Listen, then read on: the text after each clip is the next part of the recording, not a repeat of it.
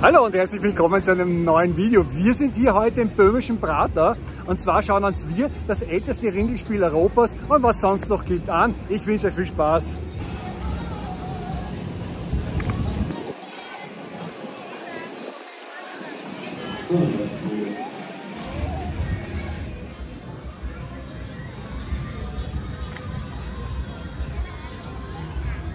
Mittlerweile sind wir hier im 100 Jahre alten Ringelspiel und ich habe mich für die Straßenbahn entschieden. Hier die Straßenbahn, mit der ich fahren werde. Mittlerweile habe ich hier in der Straßenbahn Platz genommen. Schöne Grüße an Tobis Maus an der Stelle. Und man kann sich vorstellen, das ist alles furchtbar eng, aber es ist trotzdem ein Spaß. Auf geht's in die erste Runde und nicht gerade zu meiner großen Freude geht das Ganze verkehrt herum. Und ich werde einfach jetzt eine Runde mitnehmen.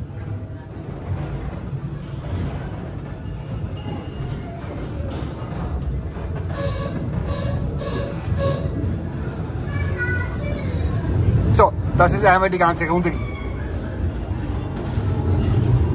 Wenn man schon im böhmischen Prater ist, dann muss man natürlich auch Geisterbahn fahren.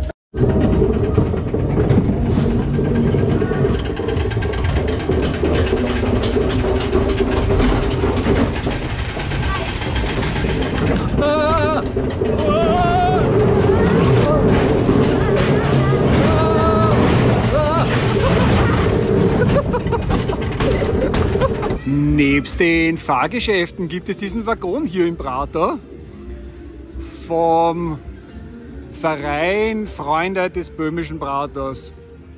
Auf geht's zur nächsten Attraktion und zwar wird jetzt Autodrom gefahren.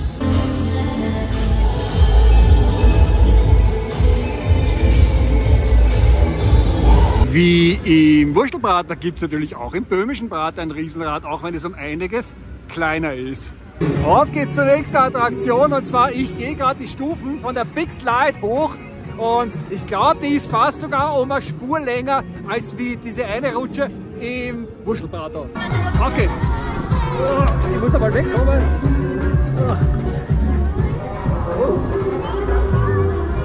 Das war jetzt ein getrübtes Vergnügen. Ich bin da verkehrt drinnen gesessen. Der Plastikteil ist nämlich der, auf dem man sitzt und der Stoffteil ist der, auf dem man rutscht. Ich hätte es genau umgekehrt gehabt. Egal, wurscht, lustig war es trotzdem.